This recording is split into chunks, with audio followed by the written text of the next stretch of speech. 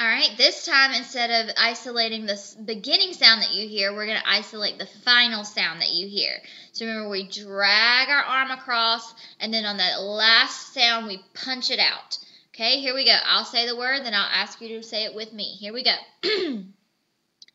Parrot with me. Parrot. Ideal with me. Ideal. Dismiss with me. Dismiss. Giraffe with me. Giraffe. Behind with me. Behind.